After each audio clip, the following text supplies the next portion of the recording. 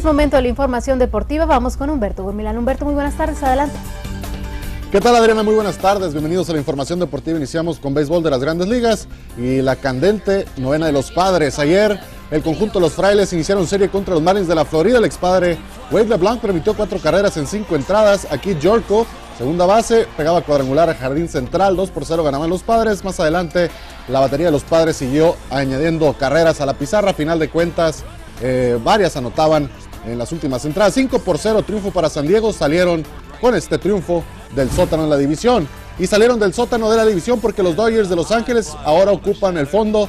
Ayer los angelinos perdieron 9 por 2 contra los Diamondbacks de Arizona en Los Ángeles y cayeron a 13 y 18. Tim Cahill consiguió su segundo partido en triunfo de la temporada. Cody Ross conectó cuadrangular, el primero también. Crawford la voló por el conjunto de los Dodgers, pero no fue suficiente.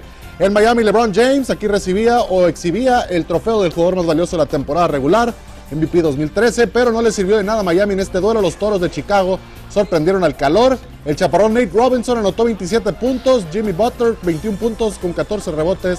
Los Bulls se quedaron con la victoria 93-86, segundo partido el día de mañana. Y los guerreros de Golden State están abriendo ojos con Stephon Curry que anotó 44 puntos en este duelo ante las espuelas de San Antonio que se fue a doble tiempo extra, pero al final gracias a Manu Ginobili que encestó disparos claves en la recta final San Antonio se impuso 129-127. Hoy continúa la acción entre Pacers Knicks y Grizzlies contra el conjunto del Thunder. El timonel de la selección mexicana de fútbol, José Manuel de la Torre, se encuentra en Europa. Todo parece indicar que sigue tratando de convencer a Carlos Vela para que juegue con la selección mexicana. El Chepo presenció en vivo, en directo, el gol número 14 al mexicano. con la presencia del timonel, pues crece el rumor del regreso de Vela al Tri.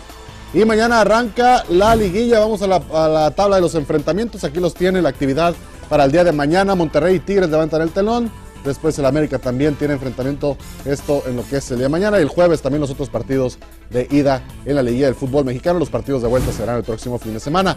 En la jugada Telemundo 33, esta atleta de Arizona, en salto de garrocha, a simple vista podría decir que es como cualquier atleta, pero no, ella fíjese, es ciega, y eso no ha dejado que le impida sobresalir, pues ha calificado ahora hasta los campeonatos estatales allá en Arizona. Es la jugada del mundo 33, el fin de la información deportiva. Adriana, te regreso.